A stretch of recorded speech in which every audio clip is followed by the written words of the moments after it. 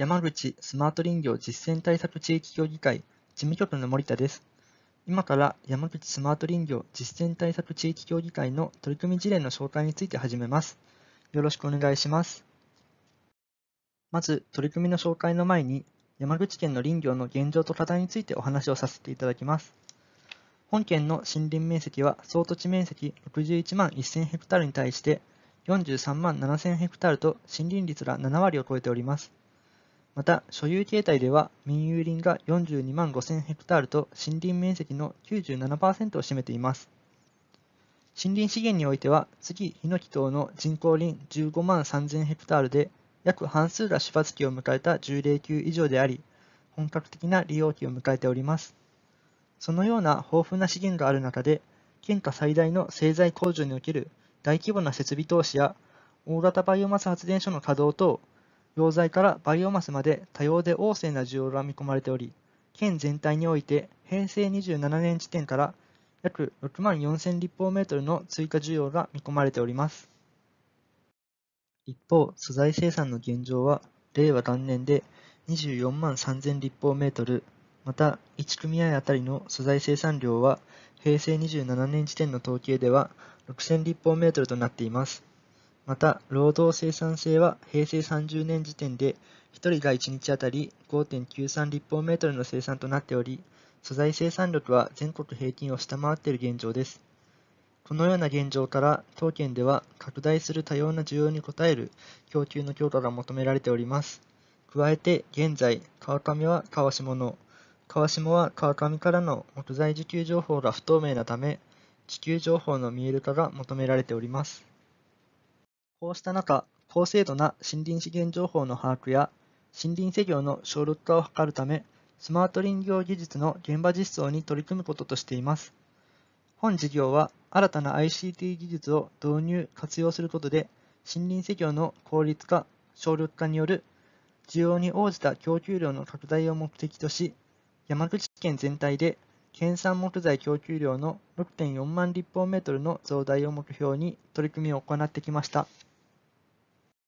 こちらが山口スマート林業実践対策地域協議会の取り組みの全体像になっております。テーマとしては、無人航空機地上レーザー計測等の活用による流木在庫の見える化、日報管理システム等による生産現場の見える化、それらの情報をもとにした需給の見える化の3つを主なテーマとして取り組んでおります。こちらが流木在庫の見える化と施業集約化の取り組み一覧です。森林資源調査に関して団地規模においては、ドローンやヘリによる上空からの計測、事業地規模においては、地上レーザ計測器アウルによる森林資源量の把握を行っています。また、施業方法の検討のため、地上レーザ計測データを活用した施業提案作成支援ソフトや、路網計画作成支援ソフト等の導入、集約化に向けた森林調査の効率化のために森林 GIS アプリが搭載されたタブレットの導入を行っております。次から個々の技術に対する説明を行います。まず、無人航空機を用いた流木在庫の見える化についてです。上空から地上にレーザーを照射、もしくは写真を撮影し、入手したデータを解析することで、受講在籍等の資源情報や地形情報を入手することができます。また、無人航空機によるレーザー計測は高価であることと、解析は業者独自の技術のため、委託により実証を行っております。平成30年度、令和元年度は、精密林業計測株式会社委託し、ドローンによるレーザー計測を3カ所、41.08ヘクタール、写真による計測を1カ所、11.02ヘクタールを行いました。今年度はヤマハ発動機株式会社への委託により、無人ヘリによるレーザー計測を2カ所、約200ヘクタールを行っており、現在計測データの解析をお願いしているところです。入手したデータによって今後の施業集約化や路網設計等に活用していきたいと考えております。次に地上レーザー計測器 AUL についてです。こちらは株式会社アドイン研究所によって開発され、林内で樹木を地上からレーザー計測することで直径や樹高、形質等の詳細な流木データを把握することが可能となり、また3次元表示機能により視覚的にも林内の現況が確認できるものとなっております。これにより、従来の麻痺弱等を用いて、紙に記帳しながら行っていた森林調査が、ボタン一つで計測可能となり、データとしての保存が可能となります。AUL の長所として、主に1人でも計測可能、計測操作が容易で専門知識が不必要、足場が悪くても設置可能、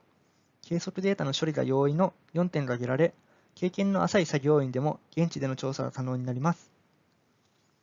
AUL による調査等は、平成30年度は県神連への委託により、県下7カ所、11.37ヘクタールを計測し、従来の調査との比較をしました。実証結果により、森林調査にかかるコストの約3から4割の削減効果が確認できました。また、令和元年度は AUL を事業体へ貸与し、広く使っていただくことで、スマート林業の県内への普及を推進しました。今年度は新たに開発した AUL 連携の施業提案ソフトを活用し、施業提案にかかるコスト削減効果を検証しています。次に、今年度取り組んでいる AUL 連携による本県独自の施業提案書作成支援ソフト AUL レポート2について紹介します。AUL 計測データを活用し、森林資源の現況に即した精度の高い施業提案書を作成するソフトになっております。市況データの取り込みや補助金額等を設定することで、施業にかかる収支が自動計算されるため、森林調査から所有者への施業提案をスムーズに行うことが可能となっています。このシステムを活用し、今年度各県出先事務所職員が先導し、施業提案にかかるコスト削減効果の検証を行っているところです。次は、路網設計支援ソフト FRD についてです。住友林業株式会社と森林総合研究所が共同開発したソフトで、地形データと季節路網データを取り込むことで自動で線形案を算出するソフトになっております。このソフトにより、従来図面上で線形案を作成し、現地動作で確認していた作業が、経験の有無を問わず、自動で作成することが可能になります。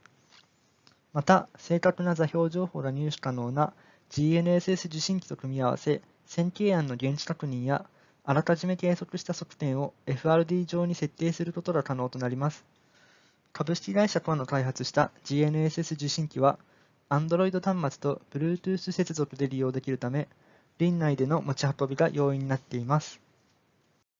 次は、県と株式会社 AM により開発した森林情報収集活用支援アプリについてです。これは県が管理・運営する森林 GIS をアプリ化し、タブレットに搭載することで森林資源や所有者情報の現地での確認を可能にしました。機能については、主に森林基本図等の情報の閲覧、作図機能、軌跡の保存機能等6点であり、電波の通じないところでの利用も可能になっております。このシステムが搭載されたタブレットを当協議会で借り上げ、協議会員に対応し活用していただいております。合わせて研修会によりタブレットの操作方法の指導も行うことで、より多くの事業体にシステムの普及に取り組んでいます。また、本アプリや AUL 等のシステムについては、事業体に使っていただく中で上がってきた要望から、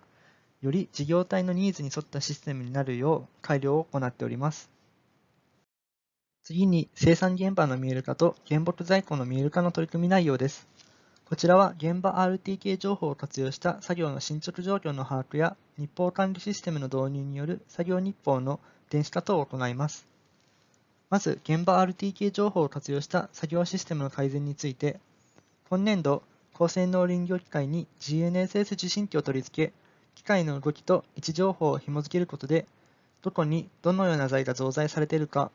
機械がどのように動いていたのか等の生産現場情報の見える化の取り組みを実証しているところです。この実証により、現場の動きや進捗状況が把握でき、作業工程間の適正化を行うことで、素材生産性の向上につなげることができると考えています。続いて、株式会社ドリームワークスが開発した森林経営業務管理システムについてご紹介します。森林組合等が従来紙で行っていた日報について、スマホ等により報告することが可能となるシステムです。このシステムにより各班の現場作業情報が集計され、作業の進捗度合いや実績が電子データで管理可能となり、事業体の事務作業の効率化にもなります。取り組みについては昨年度、研修会を行った後、希望のあった1事業体に対して試行導入を行いました。今年度も引き続き利用していただいており、新たに2事業体を追加し、計3事業体で現在利用していただいております。最後に受給情報の見える化の取り組みについてです。県新連ホームページに開設した本システムを活用し、需給マッチングの円滑化を図る取り組みです。本システムについては、平成28年度にコンサル業者に県産原木の流通の現状と課題の分析を依頼し、目指すべき SCM の構想を作成しました。その結果を踏まえて開発・改良を行ったシステムになります。具体的には、需要側には需要時期、必要樹種、長さ京急等の需要情報を、供給側には出題時期、出題見込み量等の供給情報を登録していただき、それらの情報を検診連が集約し、条件の合う財をマッチングさせる仕組みです。本システムを活用していくことで、需要に応える供給が可能になり、より効率的な計画の作成が可能となります。